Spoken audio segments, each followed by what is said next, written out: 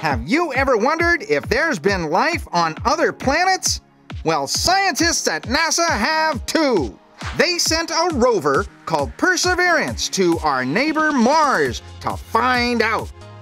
The scientists also want to see if they can send humans on Mars missions someday. The Perseverance rover looks like this, kinda like a robot car.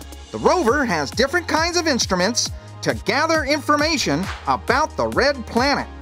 Oh, and we have a video of the Perseverance landing on Mars. 20 meters off the surface. We're getting signals from MRO.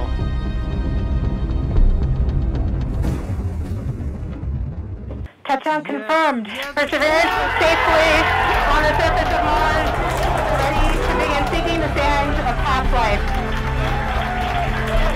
That was amazing! Woohoo! They must be so happy! It took the Perseverance more than 200 days to get there. Hmm. I hope it brought snacks. That's all on the Perseverance. Chuck Wonders, out!